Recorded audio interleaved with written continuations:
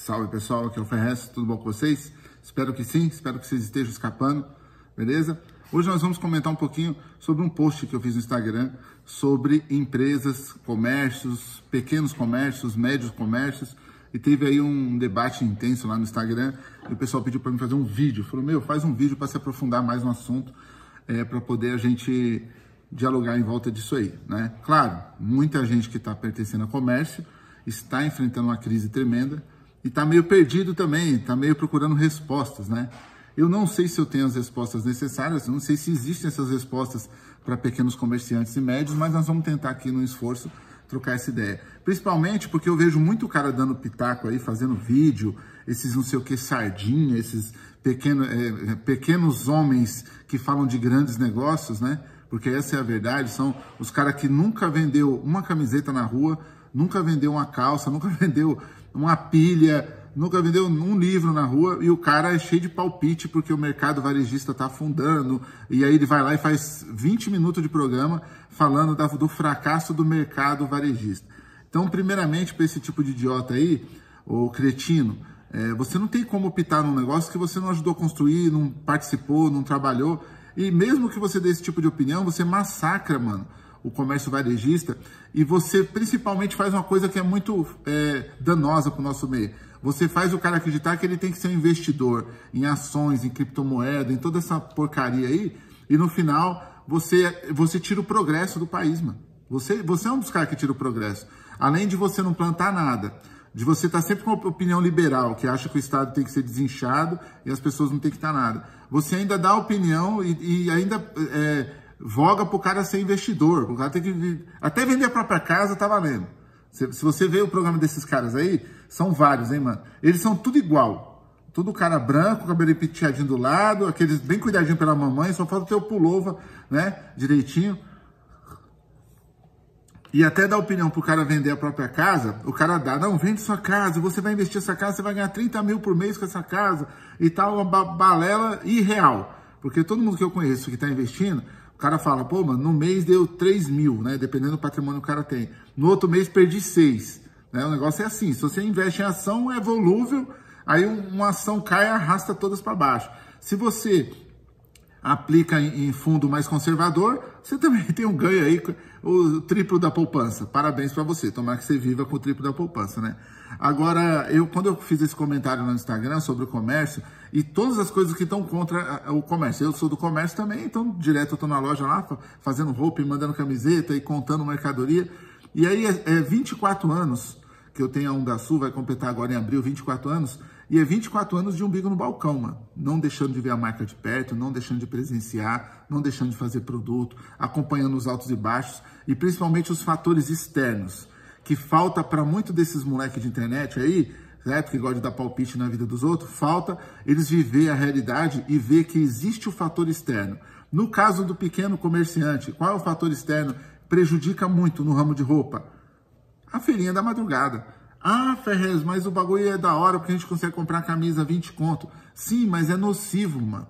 É nocivo pro cara que produz uma camisa, pagando direitos dos funcionários, pro cara que paga os profissionais que estão envolvidos na criação da roupa, certo? Aí vem uma roupa pirata lá de fora, e eu entendo que o cara paga 20 conto para poder usar, eu entendo, não é essa a questão. A questão é que, mano, é um tiro na própria cabeça, porque depois você vai procurar trampo, você vai arrumar trampo num lugar desse aí para ganhar quanto? Se o cara ganha dois, três reais uma peça de roupa, entendeu? Se a pessoa que costura tá lá escravizada lá na China, mano, né, com trabalho análogo à escravidão, que agora a palavra é análogo à escravidão, né? Aí é, parece que é mais tolerável desse jeito aí, né? Então, assim, é a mesma coisa, cara, de você procurar sempre o barato, é, o mais barato, e no final você ir vender a sua mão de obra mais cara. Quem vai pagar se você precarizou o negócio? Entendeu? Então, fazer parte do negócio precário, hoje em dia, é, é isso também, é dar um tiro na própria cabeça, mano. Todo mundo que está envolvido com editora, participando de editora, todo mundo que está envolvido com comércio varejista, em geral, vendendo roupa ou vendendo outro tipo de produto, sabe que precarizou, mano, entendeu? Então, tá muito complicado. É um fator externo, não depende tanto do comerciante. O que resta para o pequeno comerciante? Fazer promoção, fazer datas especiais, fazer eventos na loja. Então, o cara que tem uma comic shop que está sempre fazendo evento, o cara que tem uma loja de roupa que está sempre fazendo evento, ele consegue manter as pessoas ali próximas, que é a questão do tempo. As pessoas também não têm tempo para nada, então compra pela internet, a prova no Shopee chega na sua casa, entendeu? Outros pequenos comerciantes estão vendendo pelo Shopee também, estão vendendo pelo Mercado Livre, estão vendendo pelo canal da Amazon. E aí tudo isso, mano, vira uma, uma corrupção, porque você vai baixando o preço, baixando, até não ter mais qualidade no produto e até não ter mais como é, trabalhar direito, certo? Dar dignidade para quem trabalha com você. No meio disso tudo, um rapaz fez um comentário muito interessante no Instagram, e eu queria ler esse comentário aqui, o paulo.ar, né? paulos.ar. Ele pôs aqui, ó, sabe o que é complicado? Muita gente abraçou esse governo que estava aí, e os, e os desgovernos dos últimos seis anos, com um comerciante que dependia de vender para quem ganhava Bolsa Família, dizendo que tinha que acabar com Bolsa Família. Olha só que interessante, pessoal. Ontem saiu uma nota do pessoal lá da cidade, de mais de duzentos e poucos irmãozinhos nossos que estavam em situação escrava lá, certo? E aí os caras fizeram uma nota dizendo que o problema é a Bolsa Família. Se você não viu essa nota, vai lá ver que é um absurdo, mano. É um absurdo uma cidade se defender emitindo uma nota dizendo que a culpa é do Bolsa Família. E aqui o mano tá dizendo a mesma coisa, né, mano? Com um comerciante que dependia de vender para quem ganhava Bolsa Família, dizendo que tinha que acabar com a Bolsa Família, dizendo que tinha que acabar com direitos. Se o pobre é terceirizado, pejotizado, os mais velhos têm aposentadoria cortada, tudo sobe, fica difícil e fica difícil comprar onde é mais caro, mesmo que só alguns reais. Aí vira bola de neve. Olha só que comentário pertinente se não é um cara que vive do comércio, que está na rua, que está vivendo a realidade. Esse é o tipo de público aqui que eu tenho orgulho que está no canal, que está no Insta. Então, assim, são assuntos, pessoal, que na, na vida humana real, o pessoal não vai abrir para falar com você. Acho que a importância desse canal é isso, a gente sempre abrir para assunto real. Agora ficar com o hipotético. Ah, eu vou investir não sei o quê. Investe no, no Itaú. Agora o Itaú caiu porque estava junto com Americanas investir. Ah, ah, Americanas tem um pedaço lá que, que não está pagando para o Itaú. Rapaz, você vai viver acompanhando isso. Que mundo que você está vivendo? Não, fez, mas isso aí é provado que isso dá dinheiro. Tá bom, para os caras que já estão tá vivendo isso aí, fica com a tela ligada 24 horas. Você tem 24 horas para ficar ligado a tela, vai nessa. Se você quer estudar isso aí, da hora. Agora, quem vive do comércio, quem vive de trabalho, quem vive de, né, coisa real, de vender um produto, receber por ele, pagar a taxa para o governo, pagar a maquininha, tá na, no, no, balcão ali no dia a dia, tá comercializando, lidando com fornecedor, lidando com, com vendedor. Então é outra vida, tá ligado? Eu acho que os, os caras começam a confundir tudo e, e quer te vender a facilidade que não existe, mano. Aí ele continua aqui, ó, junta isso com falta de criatividade, falta de conhecimento, falta de estratégia, tudo isso é verdade, tá ligado? Porque quando o cara não tem a criatividade, o conhecimento, a estratégia, né? Que na verdade conhece, começa aí com conhecimento. O cara não tem conhecimento de nada, não vai ter criatividade nem estratégia. O cara não bebe das fontes que o comércio dele está operando. Então eu falo para os caras, meu, você está montando uma marca de roupa, você não vê outras marcas, você não vê revista de moda, você não participa de um desfile. Quantas vezes eu saí da minha casa para ir pro Fashion Week, tá ligado? Fiquei lá no fundinho assistindo. Ah, mas é besteira, só tem boy. Não, mano. Tem muita gente criativa em todos os meios, tá ligado? Então você tem que fazer parte, tem que assistir. Você tem que viver a essência do barato, mano. Como que você quer fazer parte do negócio? Como que eu vou ter uma, editora de vender gibi se eu não leio gibi, se eu não estou vendo os lançamentos, se eu não vou em evento, se eu não vou prestigiar o outro? Entendeu? É a mesma coisa. Aí abre uma lojinha de 1,99, o Paulo continua aqui, ó. Geral abre, outro abre um salão, geral abre. Mercadinho, mesma coisa. No fim, ninguém prospera. Então é aquela coisa que eu falei aqui da pizza, Paulo. Você falou muito bem aí. É aquela coisa que eu falei da pizza. O cara abre uma pizzaria, a pizza a 40 reais. O cara abre do lado a 30 reais. Aí o outro da padaria fala, ah não, vou pôr a 20, porque a padaria produz várias coisas, não dependo do lucro da pizza. Aí ele canibaliza o barato, vende a pizza a 20. Aí passa um cara com um carro que não está pagando imposto, que não está desempregado, está fazendo o corre dele, mas não está pagando imposto, não está pagando funcionário, nada. Ele faz ali com a mulher dele, porra, para poder ganhar um dinheiro, e ele vende a pizza a 10, velho. Você entendeu? Então aí, aí desmobiliza tudo cara da pizza de 40 não pode, tá? aí você vai comprar onde? Você está precisando comprar uma pizza, você 10 conto na sua porta, você quer saber a qualidade da mussarela? Foda-se, mano. Você quer saber se o cara pagou lá a higiene do lugar para ter fiscalização? Foda-se, você quer comer a pizza 10 reais, eu entendo, eu sobrevivi dessa pizza 10 reais há muitos anos, tá mas a gente tem que ter consciência que isso canibaliza também o barato, mano. Você não continua a fazer o trampo. Então, aqui, quando eu falo aqui no quadrinho da editora que eu oriento você ir numa loja, é por isso também, para você comprar numa comic shop, para você comprar numa editora, numa, numa, numa, distribuidora de quadrinhos real, tá ligado? Sei lá, se você puder, é muito mais da hora do que eu incentivar o link. Eu respeito quem vende link também, quem faz pelo link. O, o corre não é criticar ninguém. O corre é o seguinte, mano, que a gente tem que tomar algumas posições na vida, entendeu? E algumas posições são em prol do progresso a longo prazo, cauda longa.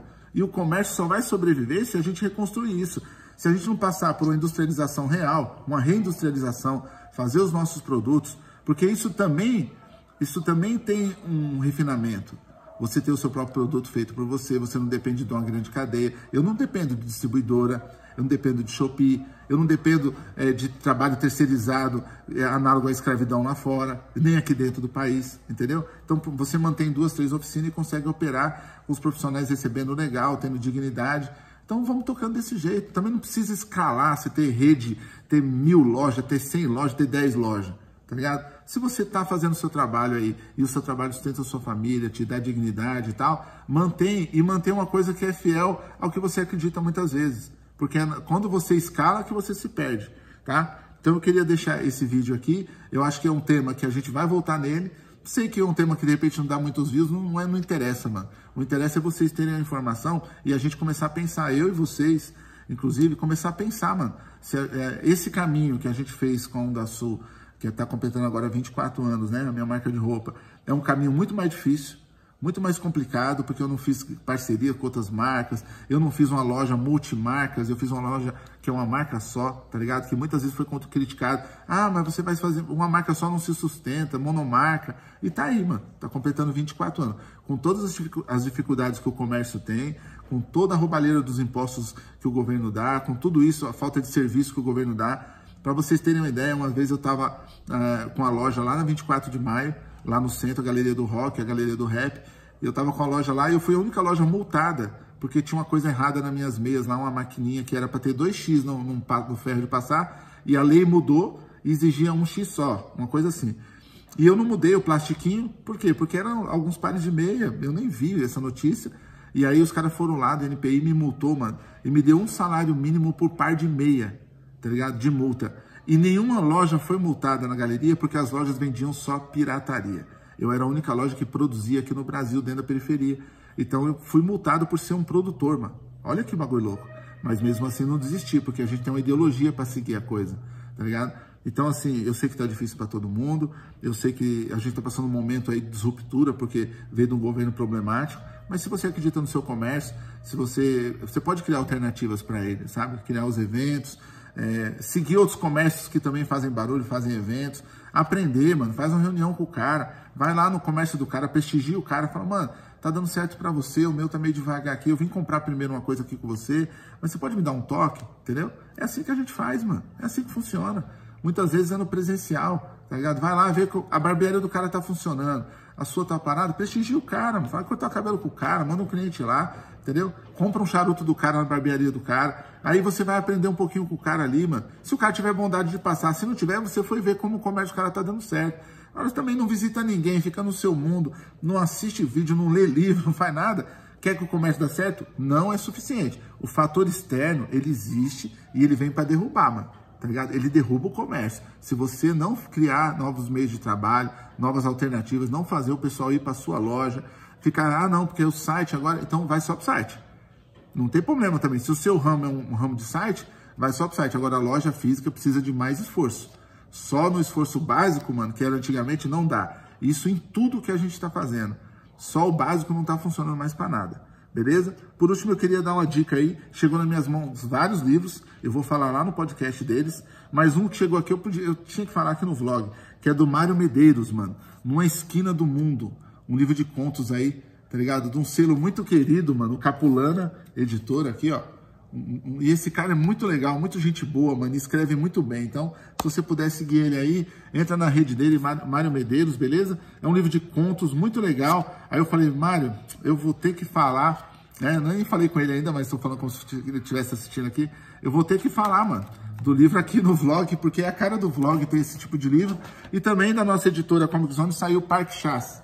Beleza? Se você ainda não deu uma chance para os quadrinhos da Comic Zone, tá na hora. E com o Parque Chás aqui, tá ligado? Do Eduardo Risso e do Ricardo Barreiro. Dois mestres aí do quadrinho, tá bom? Então a gente está lançando agora também, entre outras coisas aí. E estamos tocando a editora. Um grande abraço para vocês. Deixe nos comentários aí se você se interessou em continuar esse vídeo, se você tem mais alguma questão que você quer que eu aborde aqui, tá bom? E não esqueça de se inscrever no canal, porque a meta agora subiu do canal aí. Tamo junto. Um abraço, pessoal.